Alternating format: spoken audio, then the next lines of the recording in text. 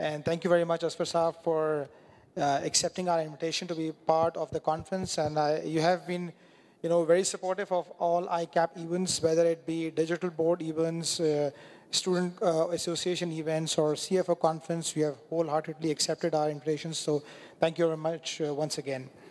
So, uh, ladies and gentlemen, we are having a wonderful conference, um, and um, you know, we have had sessions on leadership, about skill sets, and um, uh, on the 80-20 principle. We also, you know, had a session once again on leadership, on the radical side. You know, what what sort of opportunities and challenges uh, the leader should, uh, you know, how should it be handled. And by now, you must have uh, learned by heart the you know, uh, the, the theme of the conference, which is uh, Resilient CFO, Balancing the Act for Tomorrow. So um, now, in the segment that we are in right now, it's about, um, about it's about, you know, opportunities beyond uncertainties. And, uh, you know, who could have been a better person to speak about this? Because, you know, as head of uh, or chairman of board of investments, I'm pretty sure if I perceive your role, you must have been looking out for opportunities no matter what's going on around you. So, and, and that's uh, what's the theme of this segment of the conference that, and also people would be, you know, looking forward uh, to listen from your experiences and from your thoughts about opportunities still in these challenging times. And, you know, we all have heard about this and just Asim also mentioned about this, you know, the, uh, the, the, the, translation of crisis, uh, the Chinese translation, you know, danger and opportunities. So there, definitely are a lot of opportunities, must be there must be a lot of opportunities here uh, that we should be talking about. Um, uh, we will keep the format like this that I'll uh, ask few questions to Azfar Saab and then um, uh, we will keep last few minutes for questions and answers uh, from the audience here, from the uh, participants here. And I will request the ushers to be ready with the mics towards the end, like, you know, when we are left with almost five minutes, uh, I would request all the ushers to be ready with that. So starting with my first question, as far as, as um, do you really think, are there any still any opportunities here in Pakistan? A very simple question. Thank you, Sama. Uh, first of all, I'm grateful to Institute of Chartered Accountants of Pakistan for inviting me here. This institute is very close to my heart, and I worked with ICAPS in the last 20 years very closely. Uh, before sharing my views, uh, I want to share a disclaimer that uh, I'm not part of any political party or any specific government. I'm a technocrat, and whatever I will share, uh, I will share for the state of Pakistan. What are the lackings? What are the barriers? What are the root causes where we are standing today? And also, what should we do as a state of Pakistan, not as uh, one political party and one political government. Secondly, uh, I must say that uh, whatever Ali uh, shared about the investment climate and investments and the current scenario, I'm in complete agreement with him. So before sharing a long story and my learnings in the end, I want to share my learnings in the beginning. What is the root cause? There are four root causes actually as a state of Pakistan as far as the businesses, the investments, the economy is concerned. And the number one and most important root cause is incompetence. Incompetence and incompetence at every level. There is no issue of corruption. There is no issue of corruption where we are standing. This is a misleading narrative and misleading propaganda. I want to say that uh, there is a zero tolerance on corruption, but where we are standing is not because of corruption. How many billions of dollars we wasted because of corruption? All of you are finance persons. But imagine that how many billions of dollars we wasted because of incompetence. So incompetence is the first issue. The second issue is the lack of political will. Whoever is in the government, the current government, the previous government, and all the previous governments in the last few decades. Unfortunately, what is happening in Pakistan, unfortunately and very sadly, and this is my critical evaluation and my learning while working with the business houses in Pakistan as well as with the governments and all the concerned stakeholders that we are habitual for average performance. As Ali mentioned about 15, 20 million dollars investment, this is nothing. Yes, we should celebrate small successes, but you know, whatever is happening, this is a national attitude now of average performance. So lack of political will is the second issue. Another issue I learned in the last few years, and especially with my very brief stay in the government, and I'm working the, government right now also, that there is a lack of collaboration. There is a lack of collaboration. For economic development, for economic progress, for creating an enabling environment for investment, a better investment climate, you need to collaborate. Collaboration amongst the stakeholders. Unfortunately, this is missing at every level. So these are my three learnings. And the fourth and most important, all of you are aware, is the lack of continuation of policies. If there is some policy in this government, next government will adopt the new policy. Few good policies adopted in the last government, the new government changed the policies. They are on the another track actually. So there is no long-term strategy in the government. I was part of the government. I attended every meeting related to economy, investment. And one day I asked the prime minister, just after one week, that uh, I'm feeling like there, everything is on an ad hoc basis. There is no long-term plan. And this is happening since last few decades, not last five years or 10 years or 15 years. So whatever is the current scenario, of course, in last 10 days, whatever happened is another story. So political stability is another big barrier for our investment and economic climate. Our main issue is political stability instead of economics. Because without political stability, without continuation of policies, without competent team, without political will, without collaborative efforts, you can't, uh, you know, manage the economy or the investment climate for a country of 230 million. So what is happening today that we are becoming irrelevant? Look around us, small countries in Central Asia. Even I was talking to Ali that we are discussing Ethiopia these days. Study Ethiopia. Study Uzbekistan, Kazakhstan, Azerbaijan, the ASEAN countries. Look at uh, Bangladesh, what is happening in Bangladesh. So whatever is happening is a collective failure actually of last few decades from all the stakeholders, all three mainstream political parties, the interventions from Pakistan military. I'm saying this very candidly. And we failed to provide a good system for the bureaucracy. My personal learning is that there are brilliant bureaucrats in every ministry and every department. But there is no system actually. There is absence of system. So without system, you can't do anything.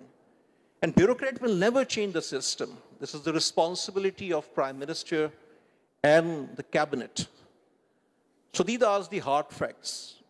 The opportunity is that in every sector, there is an opportunity of a few billion dollars investment, local and foreign both. There is an opportunity of attracting FDI of few billion dollars annually from six, seven, eight countries. Saudi Arabia, China, and many others. But what we are doing as a state of Pakistan, and every government is doing the same, that we are begging for $2 billion, $1 billion, $3 billion of loan to deposit in our state bank. This is happening. The previous government, the two previous governments, the current government, everyone is doing the same. So all of you are chartered accountants, finance persons. There are two ways of your income. One is export and one is investment. My area is investment. So investment opportunities are here, but uh, what is happening that our existing investors, whether local investors or whether foreign investors, are facing issue. और अब एक बात कही जाती है पाकिस्तान में, और ये बात मैं हर जगह कहता हूँ।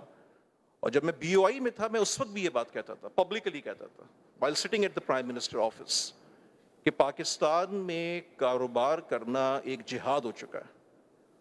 As with the manufacturing sector दिन में कितने नोटिस आते हैं? कितनी प्रॉब्लम्स होती है हर छह महीने में आपकी एक नई पॉलिसी होती है in last six seven years we appointed seven chairmen of Board of Investment. In the last six, seven years, we appointed nine or 10 federal secretaries for finance. In nine, six or seven years, we appointed seven, eight, or nine FBR chairmen. So I mentioned about three important components of economy, investment, taxation, and finance. This is the status of our continuation of policies. The poor decision making, ad hoc system in the governments, whoever is in the government, the PTI government, the PMLN government, the PPP government, or even the military government. So what is needed for Pakistan, and this is beyond lip service, this is my learning, because we are becoming irrelevant. At my last meeting with the investment minister of Saudi Arabia, three, four months back, I'm working with him now for some investment projects. And he said that I'm the biggest salesman of Pakistan in Saudi Arabia. This is known to everyone. But I'm a failed salesman in Pakistan case, despite all my efforts. And he said that in small countries, we are investing billions of dollars. For example, because I look after the Saudi project and I, you know, worked uh, with the collaboration of our private sector.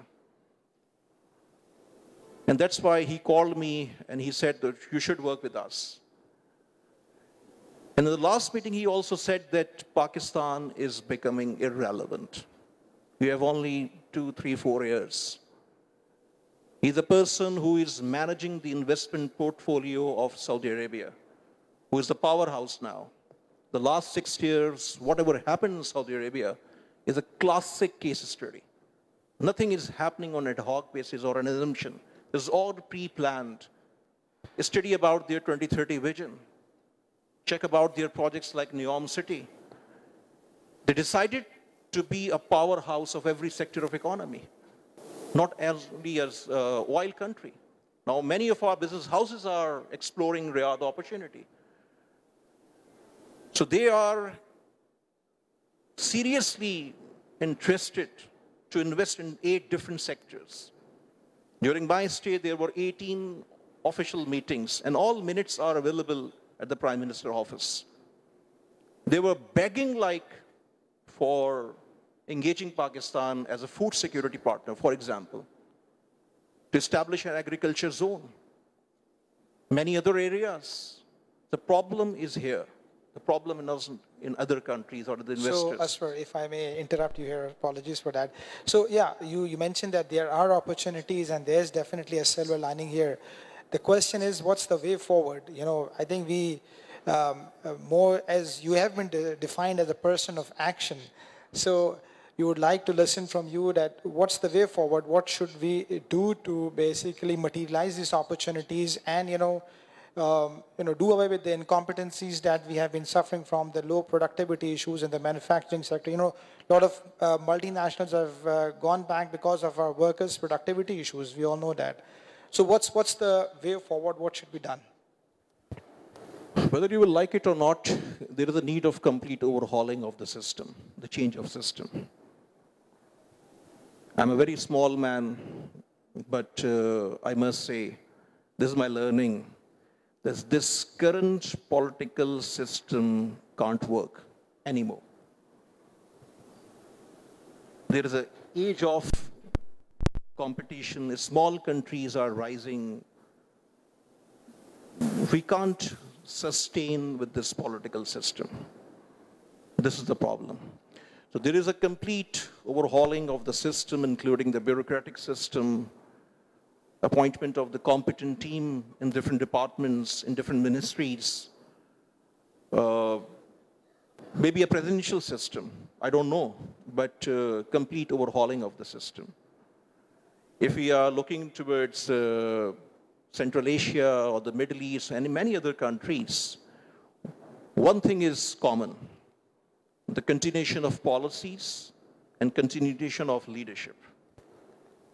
In Pakistan, Ali mentioned, and after every three years or sometimes two years, we are changing the prime ministers.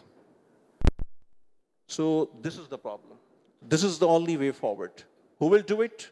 I think time will tell us. But whatever is happening in the country, I believe that this is part of the evolution. Yes, all stakeholders are crossing their limits. This is very sad. They should act with maturity. But I think this is a part of the evolution. And I'm optimistic with the passage of time, within one or two years, maybe we will see a different system in Pakistan, a different Pakistan on a right direction. So right now, our direction is nowhere. Sometime we are very close with China. Sometime we are very close with US. There is no consistent foreign policy. And foreign policy should be based on our economic interests, not on religion or not on any other thing. Look at India, look at Turkey and other countries, how they are maintaining their relationships with other countries. So we are becoming irrelevant because we are wasting the time. I worked for China and in my, when I joined the government, I advised uh, to establish a China-Pakistan Investment and Business Forum. And we signed the framework agreement with China government. I was a secretary from Pakistan side during the visit of Prime Minister to China. And in the Chinese system, they never worked without the framework. In the history of Pakistan, this was first time. And what was the objective of China-Pakistan Investment Forum? We engaged 20 big players from both sides. And both governments were collaborating. The only purpose was to do the outreach, and this was for joint ventures and collaborations. China economy is big, China population is big. I believe that hardly 8, 10% investors visited Pakistan. So there is a consensus that we should explore, we should engage maximum investors. But what is happening that uh, China was unhappy with us as far as the business is concerned. और ये जो हम कहते हैं ना China से हमारी बड़ी दोस्ती है हिमालय से ऊपर दोस्ती है और शहद से मीठी दोस्ती है ये बातें काम नहीं आती business is all about give and take हम दोस्तियों को ना फॉर ग्रांटेड लेते हैं as nation I may be very candid but I am sharing the truth whatever I learned, what I, I observed actually. So China was not happy, China is not happy with us. Wherever they are collaborating is because of their strategic issues. We are not facilitating them, we are wasting their time. I can't share many things here openly, but uh, during my interactions when I was the part of the government and later also, they are upset with us. Look about, uh, about our special economic zone. Lucky Motor is a classic example. I think आप लोगों ने road भी खुद बनाई थी पानी भी आपने खुद अरेंज किया सब कुछ आपने किया था this is the status of all the economic zone The Board of Investment is the secretariat, but after 18 amendment, this is with the provincial governments. This is actually a heaven for land grabbers. Massive corruption in uh, special economic zones. And every government did it. Every government. एक ज़मीन आप लेते हैं पाँच एकड़। ज़रूरत आपको होती है। फ्यूचरिस्टिक आप दिखाते हैं 50, 60, 70 एकड़। और कुछ सालों में वो कमर्शियल होती है उसकी प्राइस तब्दील हो जाती है। This is happening no facilities कुछ जगहों पे काम हुआ है बट जिसकी ज़रूरत ही नहीं हुआ। तो what we propose later the government departed and nothing happen later that uh, China government established 22 G2G special economic zone in 22 countries. So we proposed the same idea to President Xi. जब China खुद special economic zone बनाएगा तो उसका investor भी आएगा and they are experienced उनको पता है कि काम किस तरह से होगा ये बिल्कुल उसी तरह से है कि आप एक एड देखते हैं दुबई में, रेगिस्तान में डेजर्ट में, वो कहते हैं एक हाउसिंग स्कीम बनेगी बट वो एड इतना खूबसूरत होता है कि आप कहते हैं कि यार मैं अपना घर यहाँ बनाऊँगा। बट फाइव ईयर्स में वो सोसाइटी बन जाती है। आप खुंजराब पास से हुंजा तक रोड देख लें चाइना ने बनाई है। तो उस पर कोई प्रायोरिटी नहीं है। टेक्नोलॉजी ट्रांसफ़र की हमने बात की फार्मास्यूटिकल्स के लिए। 90 परसेंट फार्मास्यूटिकल का जो रॉ मटेरियल है, वो चाइना और इंडिया से आता है। तो after the covid there was realization कि हमें लोकल मैन्युफैक्चरिंग की तरफ़ जाना होगा। उस पर बड़ा सीरियस काम हुआ but there is no continuation of policies तो चीज़ें। इस वक्त प्रायोरिटी कुछ और है। इस वक्त इलेक्शन होंगे नहीं होंगे उस वक्त क्या करना है? इस वक्त प्रायोरिटीज़ ये हैं। But Pakistan is suffering and all of you are finance persons you are very well aware what is happening in the industry. So, अगर आप एक सिक ऑर्गेनाइजेशन को लेते हैं तो उसकी आप एक रीस्ट्रक्चरिंग करते हैं। जो जो आपको मेजर स्टेप्स लेने होते हैं बोल्ड स्टेप्स लेने होते हैं, वो आप लेते हैं। एक रोड मैप होता है, एक स्ट्रेटेजिक प्लान होता है। और फिर विद इन फ्यू ईयर्स आप एक राइट डायरेक्शन पे आना शुरू होते हैं और फिर आप प्रॉफिटेबल कंपनी बन जाते हैं। पाकिस्तान का हाल यही है इस वक्त। तो या तो हम इस तरह से काम करते रहें इलेक्शन होगा, थोड़ी सी स्टेबिलिटी आ जाएगी। बट मैं आपको गारंटी कर रहा हूँ दो साल बाद आप फिर वहीं पे खड़े होंगे। तो there is a need of big rethink what should we do as a state of Pakistan जो भी गवर्नमेंट में हो। हमें एवरेज परफॉर्मेंस के माइंडसेट से बाहर निकलना होगा। हमारा जो एवरेज एफडीआई uh, का इनफ्लो था वो अंडर थ्री बिलियन डॉलर था। पिछले कई साल से अब तो वो डेढ़ बिलियन डॉलर पे आ गया है शायद। But there is a potential of few billion dollars every year from few countries. उसके लिए आपको एक enabling environment बनाना होगा। मैंने SEZs की बात की वहाँ पे काम करना होगा। आपको bureaucratic system सही करना होगा। और ये सब चीजें rocket science नहीं है। आपके तीन bureaucracy military है political government है। collaborate करें और काम ministers आते हैं ना हमारे बड़े-बड़े हमारे सारे दोस्त ही party से भी हो तो वो अपने आप को अफलातून समझने तो बातें बहुत करते हैं, काम नहीं करते कोलैबोरेट नहीं करते। चौधराहट जमाते हैं अपनी। This is what I observe in last of the governments जब आप इसी ब्यूरोक्रेसी से इंगेज करते हैं, एक अच्छे एटीट्यूड के साथ ब्यूरोक्रेट भी इंसान ही होता है, काम करता है आपका। जब आप कॉर्पोरेट में होते हैं, तब भी तो काम होता है आपका। आपको काम निकलवाना आना चाहिए ना। तो यही ब्यूरोक्रेसी है, वही पाकिस्तानी है। And there are brilliant bureaucrats in every ministry in every organization मैं आपको 25-30 नाम तो इस वक्त ले सकता हूँ तो ये जो एक नैरेटिव है ना प्रोपेगेंडा है ये अपनी इनकॉम्पिटेंस को छुपाने के लिए होता है अगर हमने पाकिस्तान के लिए वाकई एक रोड मैप डेवलप करना है इसको एक प्रॉपर एक डायरेक्शन पे लेके जाना है तो हमें अपने माइंडसेट को चेंज करके अपनी इनसिक्योरिटीज को हटा के collaborative environment में काम करना होगा That's a very wonderful message, Asfar. Uh, you know, changing the mindset and collaborating. And uh, you know, I would definitely would like to have continued with this session, but unfortunately, we are very limited in time. I still had few more questions, and I was really looking forward to the answers. And uh, you know, um, probably the the participants must be looking for questions. So, am I allowed to take one question? Okay, please. So uh, where are the ushers? Are the ushers ready? Um, एक एक question जी, इधर आसिम साहब के पास लाइएगा mic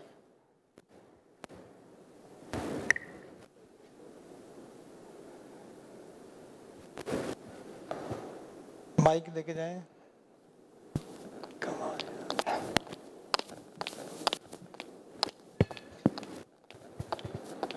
चले मैं ही दे देता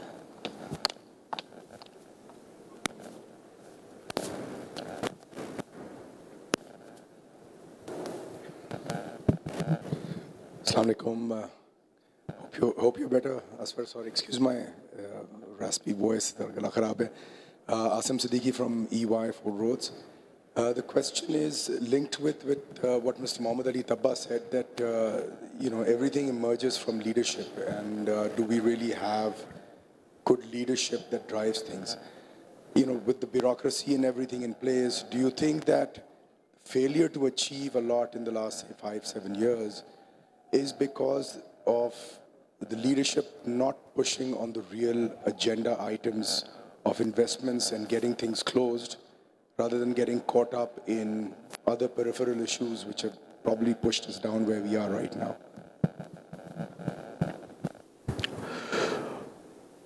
देखिए जो पॉलिटिकल लीडरशिप आपकी है ना उसको एक बिग रीथिंक की ज़रूरत है अगर वो अपनी बारियां लगाते रहेंगे और दोबारा दोबारा फेल होते रहेंगे।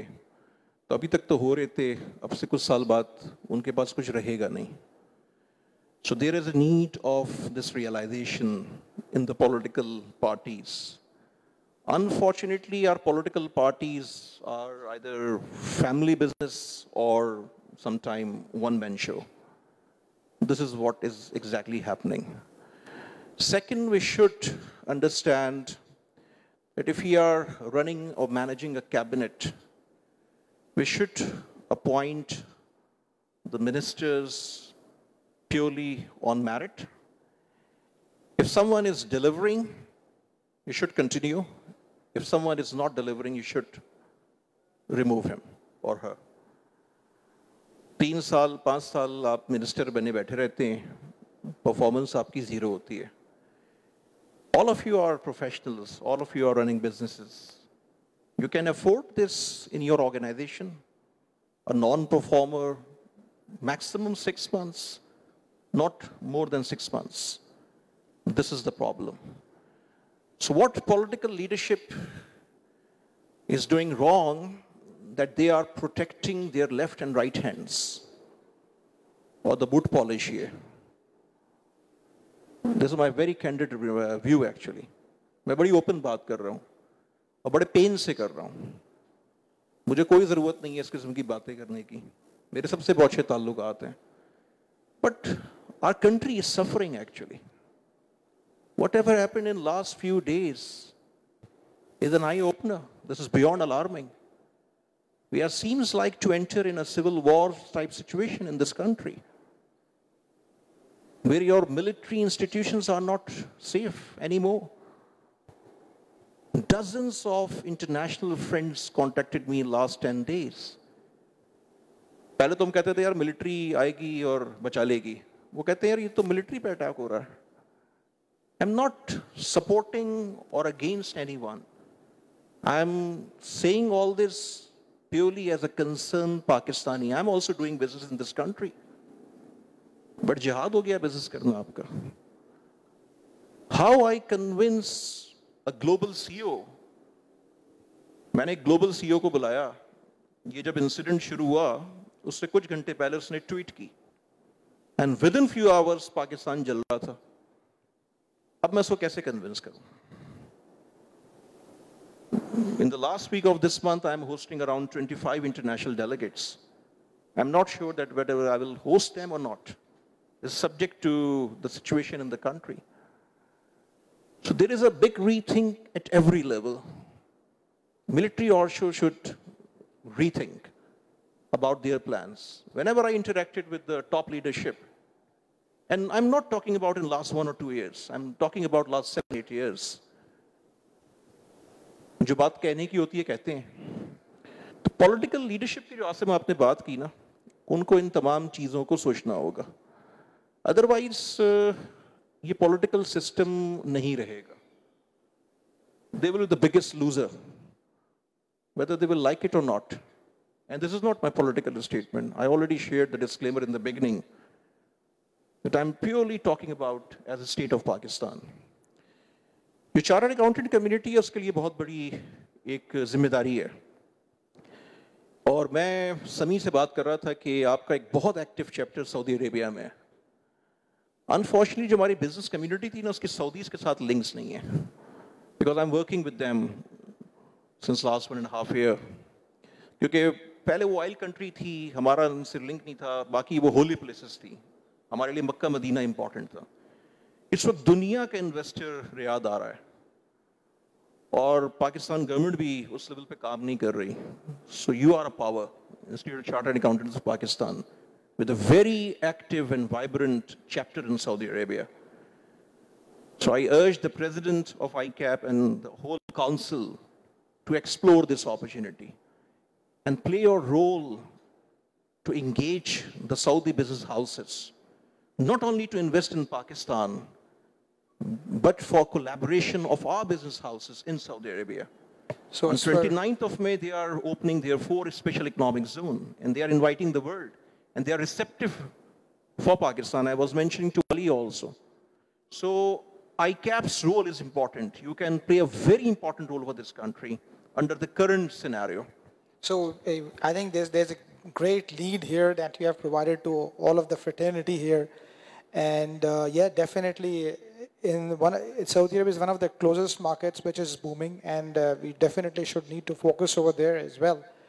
Um, what I would like to summarize from uh, what Azfar has mentioned about opportunities here, and I think, and the way forward particularly, is that every segment of the society and every pillar of the state has to has to perform their own duties and and you know duties diligently, and we need to take uh, you know the incompetence factor out of uh, all these segments of the society and the pillars of the state, if we have to move forward and you know recreate our mark in, the, on, in this universe. So once again, thank you very much, Azfar, for accepting our invitation and coming over. And thank you very much, all of you.